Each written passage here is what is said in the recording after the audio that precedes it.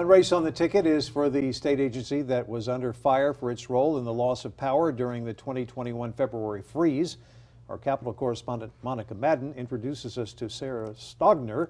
She calls herself a unicorn Republican who's looking to unseat incumbent Railroad Commissioner Wayne Christian. The 2021 February freeze drew attention to regulations on natural gas, which Texas largely relies on for power.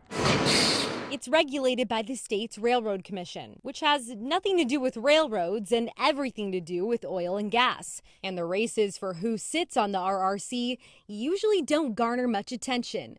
This year is an exception. I'm Sarah Stogner, and I've. This oil and gas attorney went viral in February for a video featuring her semi nude riding a pump jack. Please vote early. It's really meant to be tongue in cheek and funny and to grab attention. She's in a runoff against incumbent Wayne Christian, chairman of the RRC. Bringing transparency so that those with the subject matter expertise have access to the information to help us fix these issues. We need to make sure that we're able to continue producing oil and natural gas in Texas and prevent federal intervention. Over the last month, we've reached out to Christian's campaign for an interview. While he did not say yes to that, he did send some recorded statements. I am the only candidate in this race with a proven record of fighting back against the radical Biden administration and standing up for American energy independence. He is targeting her for taking a $2 million donation after an earlier campaign pledge to refuse contributions. It is the height of hypocrisy for Sarah Stogner to criticize me